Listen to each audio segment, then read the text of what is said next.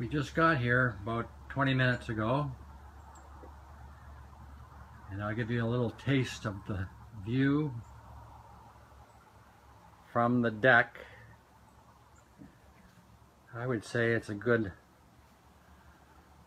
180 degree view.